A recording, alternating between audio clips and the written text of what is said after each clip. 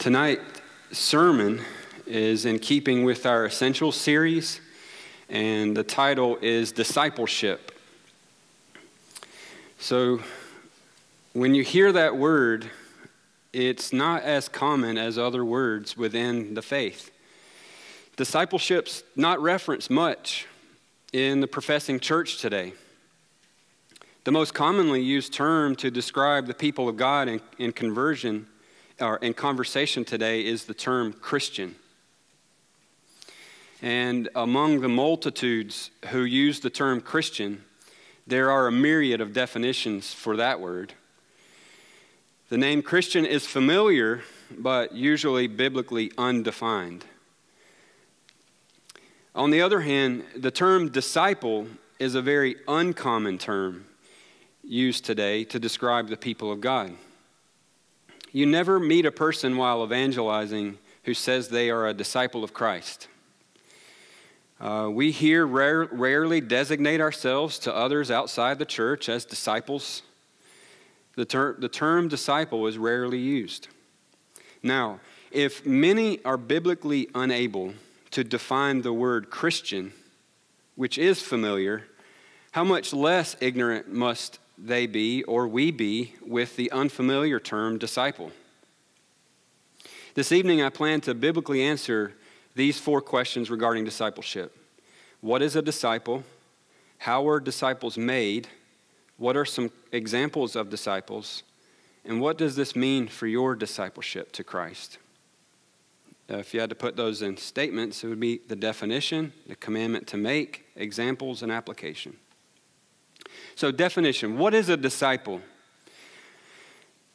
And what do we mean when we even say that? With reference to what?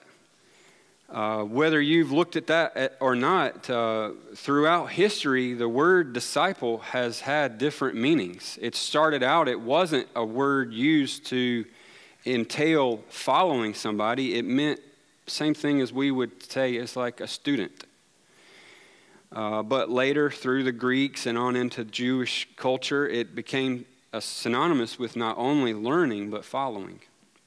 So I'll give a definition and we'll look at some texts to see what the Bible uh, says about disciples. Um, and the discipleship of Christ is unique, which I hope you'll see. So, definition a disciple is another term for a Christian. Specifically, a disciple is a chosen, believing, learning follower of Jesus Christ as he is revealed in Scripture. So, a disciple is another term for a Christian. If you would, turn to Acts 11.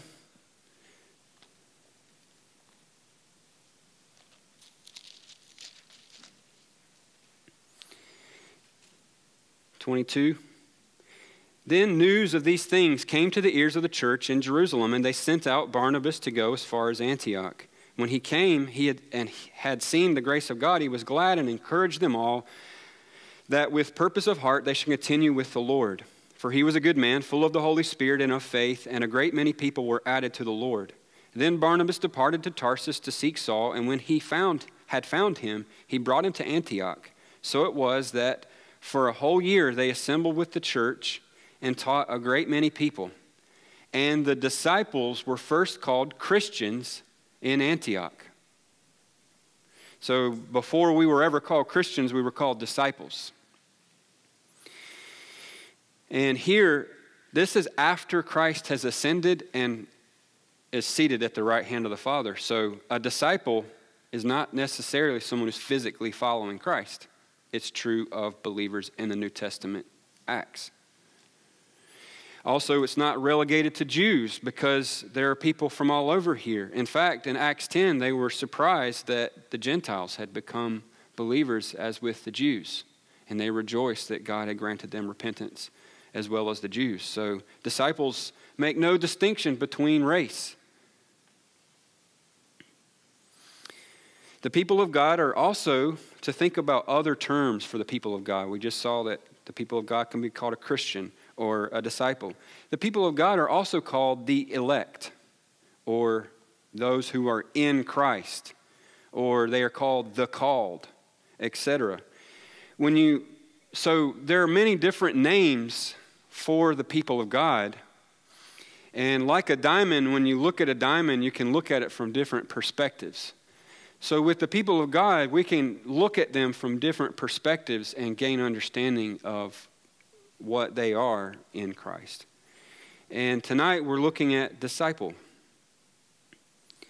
So, what specifically does the term disciple denote about believers? So, turn with me to Matthew 16.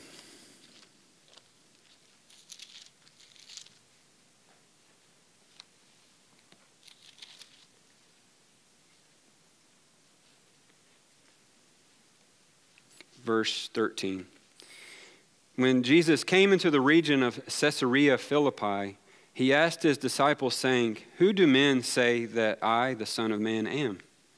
So they said, Some say John the Baptist, some Elijah, and others Jeremiah or one of the prophets.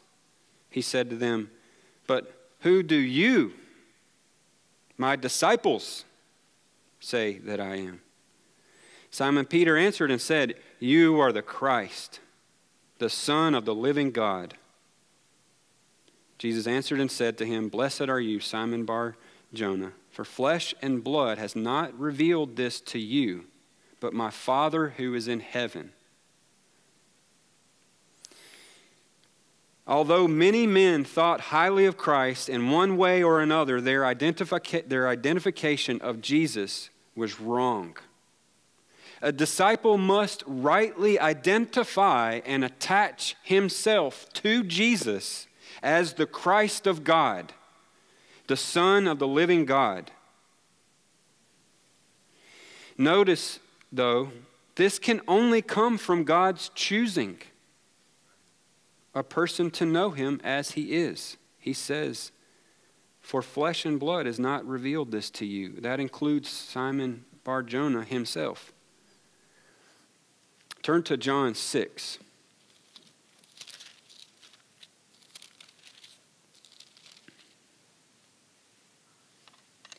65.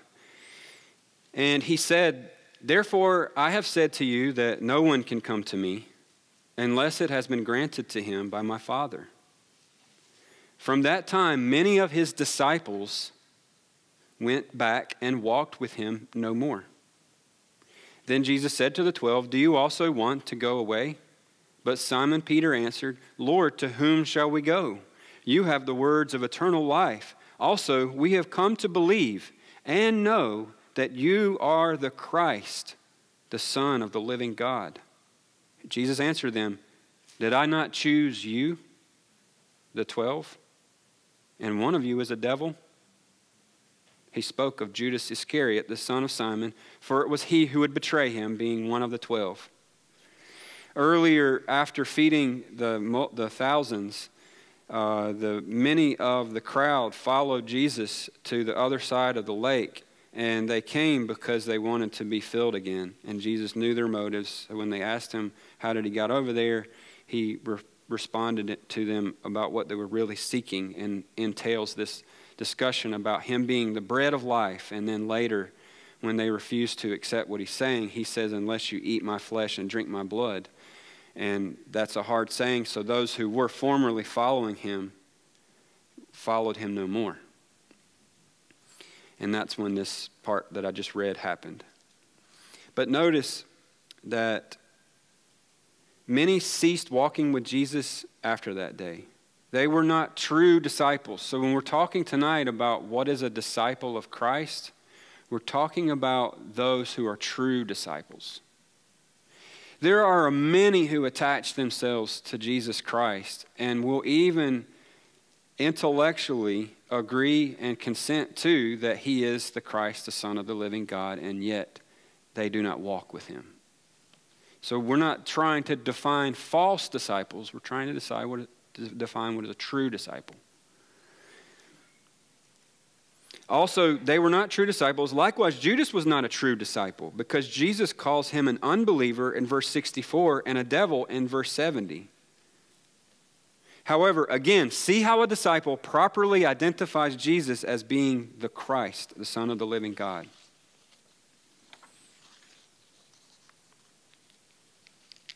To repeat the definition, a disciple was another term for a Christian. Specifically, a disciple is a chosen, believing, learning follower of Jesus Christ as he is revealed in Scripture.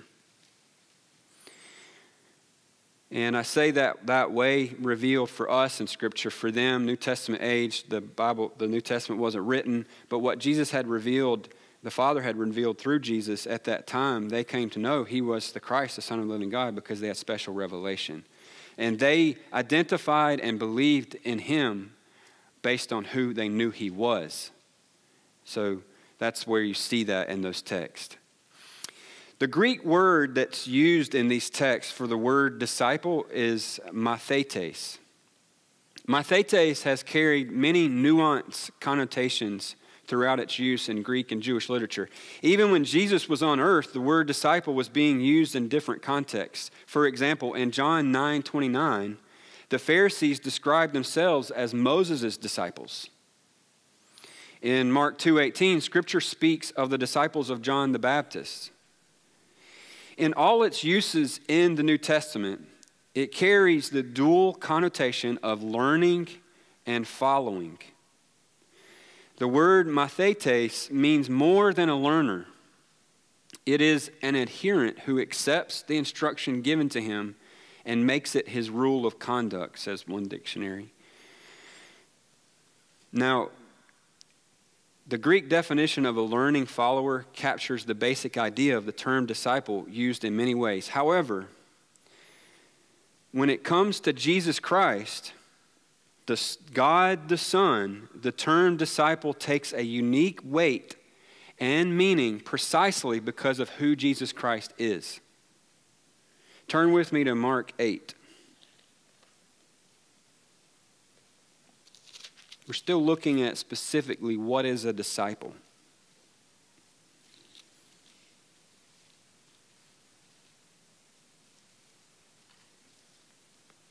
Because discipleship is the practice of being a disciple. So, Mark 8, 34 and 35, I'm just going to read those two verses. When he had called the people to himself with his disciples also, he said to them, Whoever desires to come after me, let him deny himself and take up his cross and follow me. For whoever desires to save his life will lose it, but whoever loses his life for my sake and the gospel's will save it. I want to focus on 34.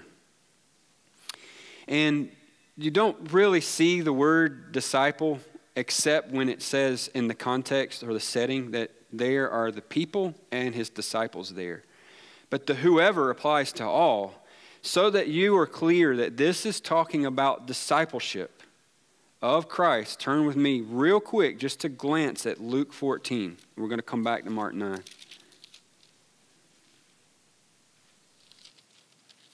Luke 14. verse 27.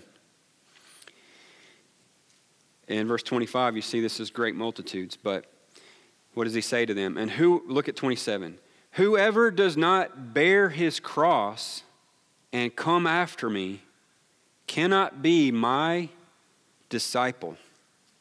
So when he's talking about bearing his cross and following him over here in Mark and in the other places in the Gospels, he's speaking of discipleship.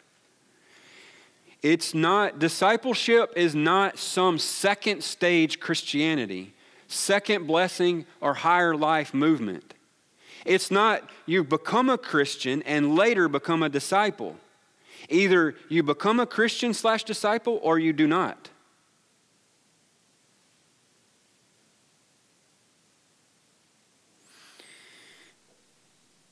If you are not a disciple, you are not a Christian.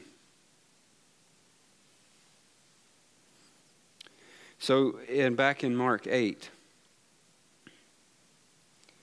when he had called the people to himself with his disciples also, he said to them. So, what he's about to say to them, we know from seeing it, him use the word disciple in Luke, that what he's speaking to them is about discipleship. We know it's about salvation because he says, Whoever desires to save his life will lose it. Look in verse 36. What will it profit a man if he gains the whole world and loses his own soul? So, to become a disciple is talking about a saved believer.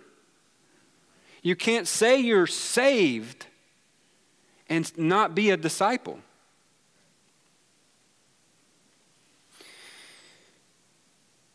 And he says, whoever.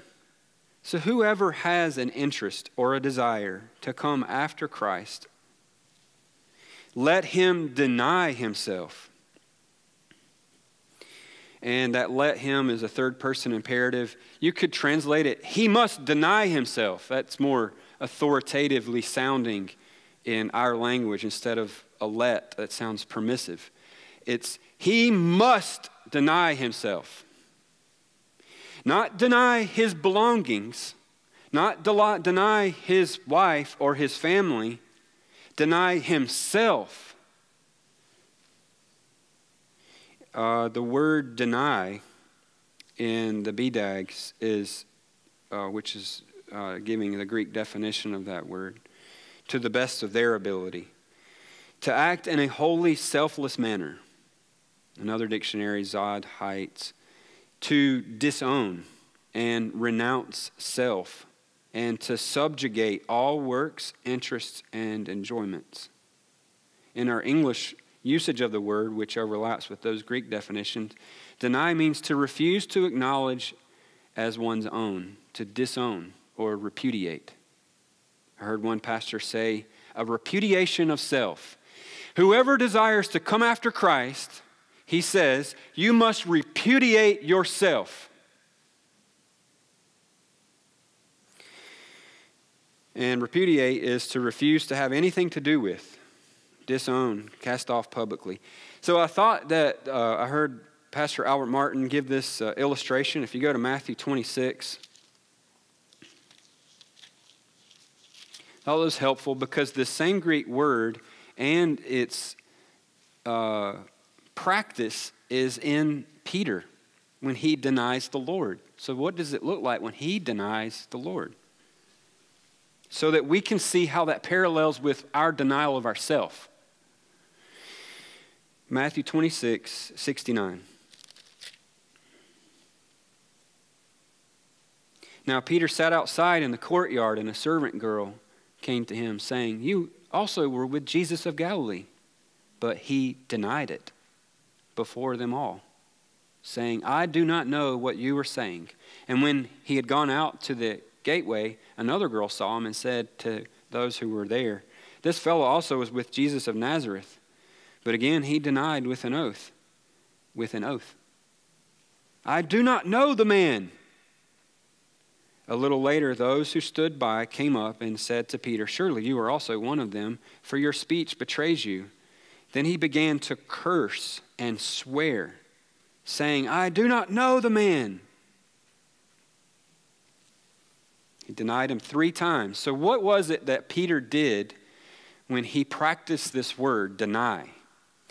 He actually physically didn't do, in this uh, example, anything. What he did was verbal. And when it came to acting upon the desires of his heart and the thoughts of his mind, he spoke to people who were around and he repudiated Jesus Christ. He disowned him publicly and says, I have no attachment and association with that man. I am not part of him. You need to detach me from him. And then he oath, swore with an oath and then cursed. So he did it with such vehemency that he tried with all his effort to separate and detach himself from Christ. And that's a, an, an example of denying yourself. Well, when Jesus says back in Mark 8, let him, he must deny himself. What is he speaking of? What should we disown of ourselves? And already it's like flying in the face of a lot of false teaching on self esteem. That God's design of salvation is that you feel good about yourself. And it's not that uh, a Christian isn't grateful or joyful, uh, but this uh, is, not, is flies in the face of that kind of thinking. Well, there's something in us that we don't want to let go of, that we must let go of if we're going to be a follower of Christ. We see it as a commodity. And preeminently, it is the vile sin of idolatry of self. Selfish idolatry. It flies across all humanity and says, You are all selfish idolaters. And if any of you will become saved, become a disciple of Jesus Christ, become a Christian, you must deny that.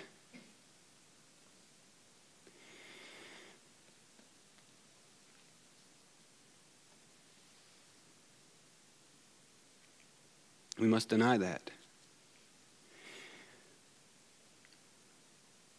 He says uh, also that you must take up his cross. Uh, that his, I believe, is referencing the person, not the Lord's cross, though they're connected, though distinct. Take up his cross is to lift up and carry. It's, it's in association with being a follower of the Messiah of being a follower of Jesus Christ, a learning, saved, Christian, believing follower. And what does it mean to take up one's cross? Well, I think if you just, we better understand what it means when he says that, that cryptic figure of speech, cross, we'll better understand what it means to take it up.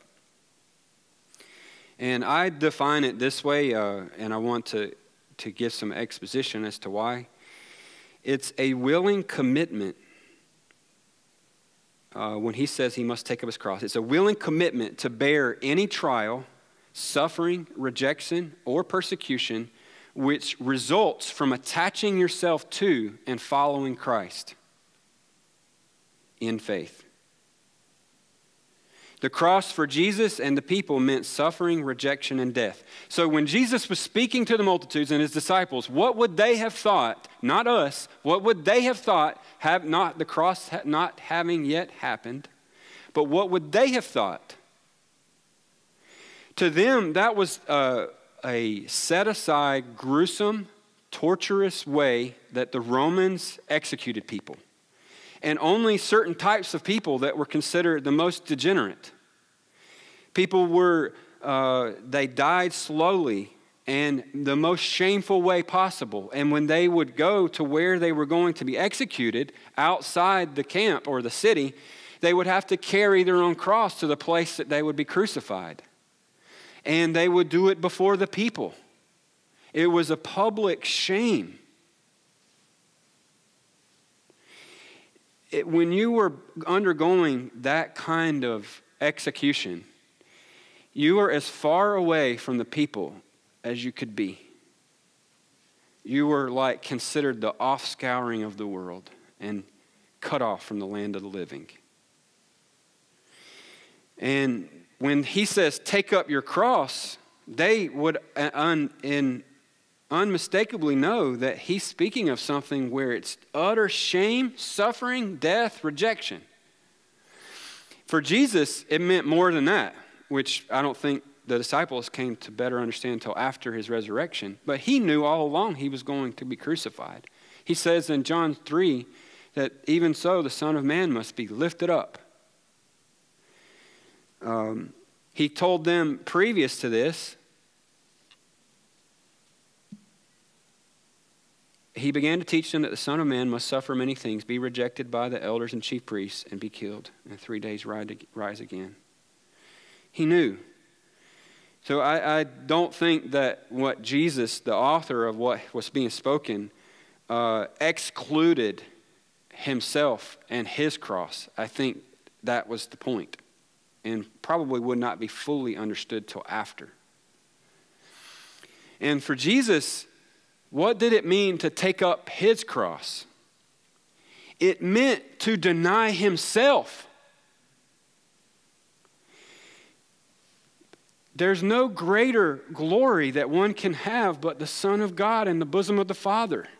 To leave heaven and humble himself in the likeness of man and become obedient even to the point of death, even a cross.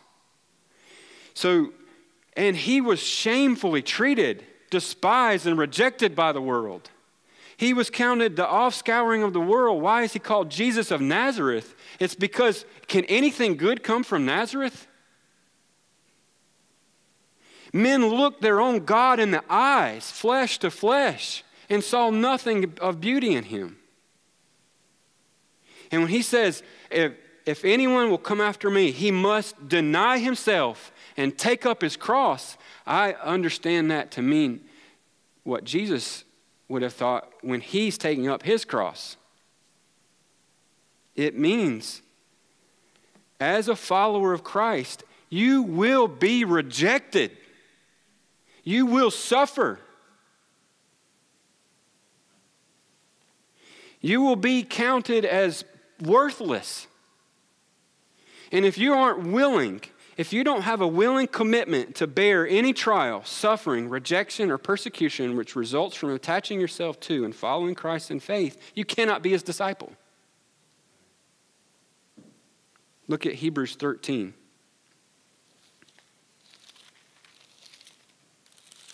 And we'll, we'll move.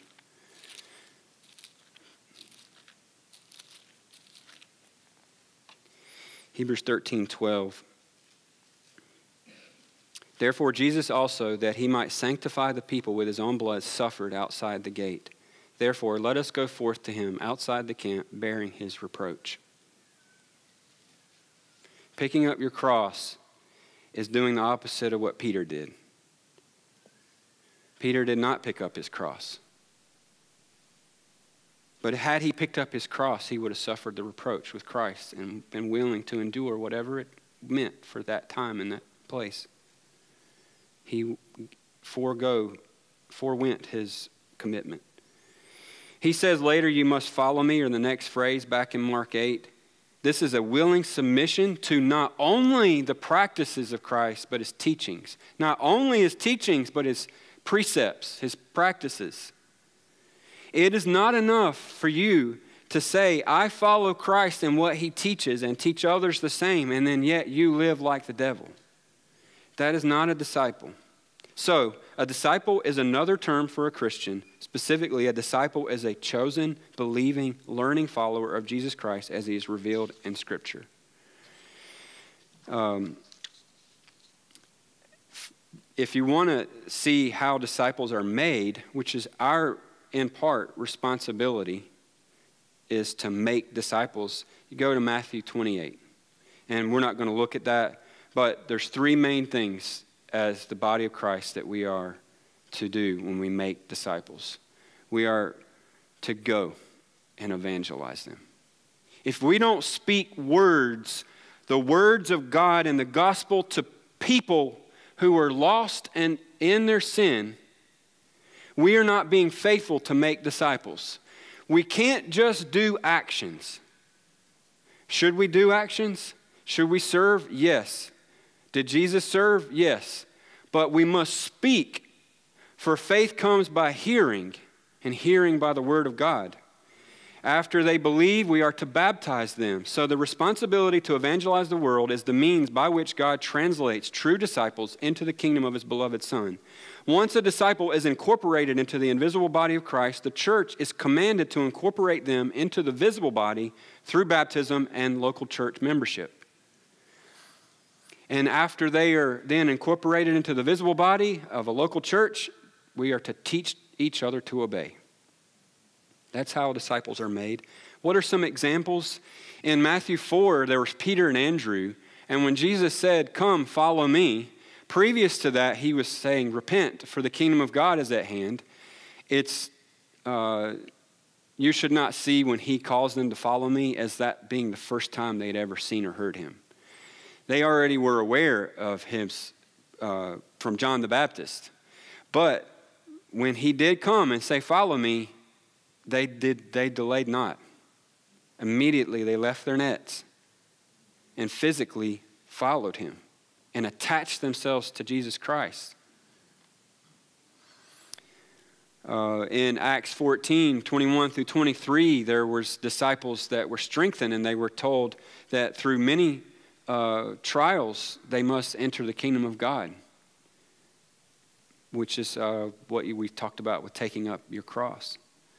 And also in Acts 16 and then 2 Timothy 1, uh, we see Timothy was a young disciple that was commended to Paul, and he went with Paul. And later, at the end of Paul's life, what is Paul telling him as a disciple of Christ? He's telling him to be faithful and sound in, sound in doctrine and in practice.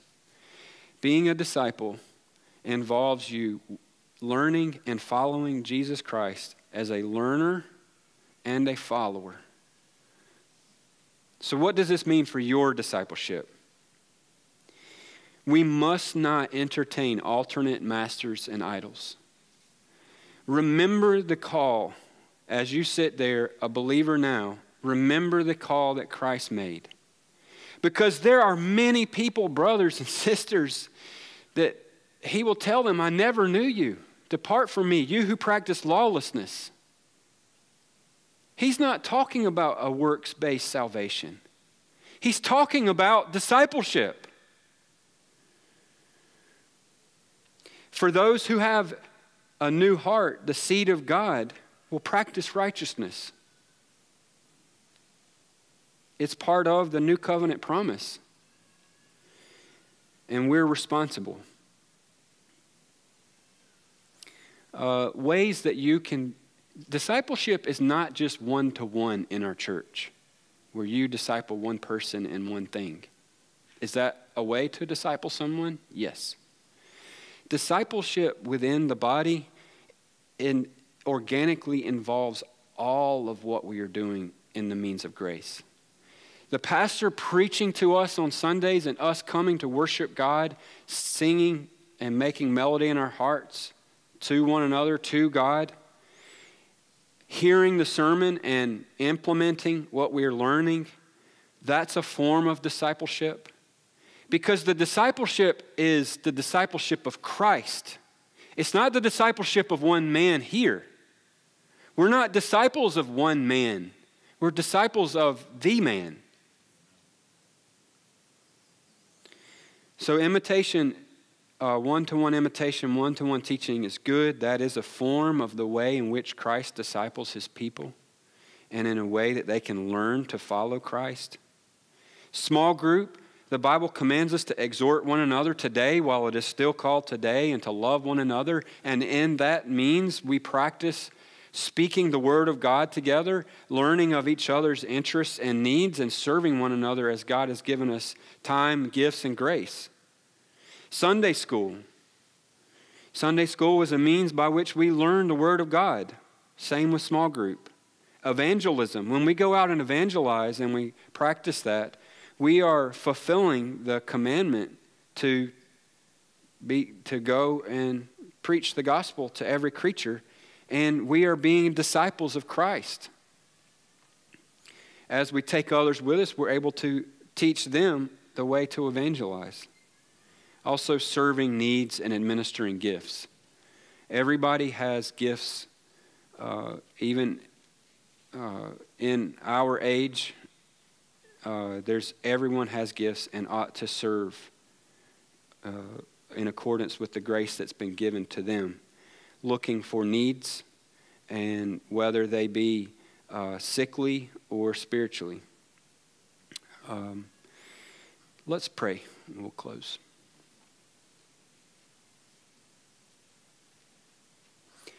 Father in heaven, we praise you for this uh, teaching on and preaching on discipleship. Uh, we see that the call to follow Christ involves uh, a denial of ourself and taking up uh, the cross and following Him. And we are insufficient but willing uh, by your grace. And we pray that you would help and cause us to uh, be faithful disciples of Christ and to be faithful to make disciples as your people here. Amen.